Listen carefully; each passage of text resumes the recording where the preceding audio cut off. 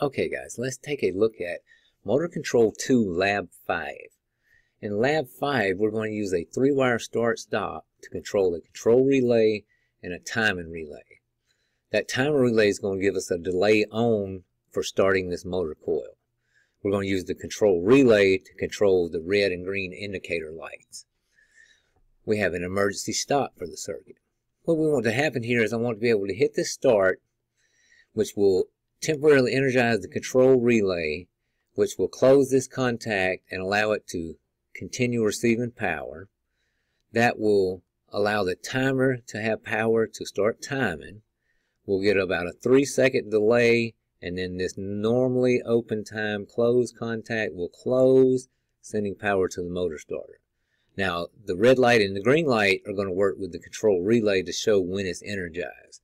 So as soon as we push the start, the lights will change, and then we should have about a three second delay before the motor starter engages, and then we should be able to stop it immediately with the normal stop button, the e-stop, the disconnect, or turning off the power. Okay, so we turn on the power, go ahead and close our three-phase disconnect. That's going to feed power over to one side.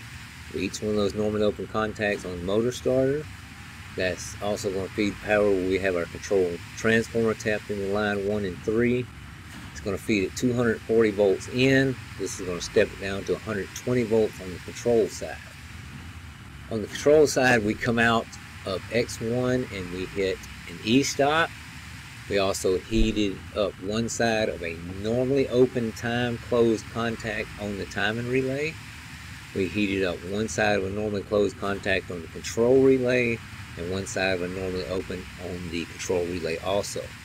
That right there, when the control relay is energized, they will they will flip-flop, meaning this one will open, this one will close, this light will go off, the green light will come on. Three seconds later, we should see the motor start. Alright, so if we hit start, our green light and red light change, timer's timing, three seconds. When it kicks out, power to the motor coil, the motor is energized. Again, I can stop it at hitting stop, uh, hitting E-stop, uh, opening the disconnect,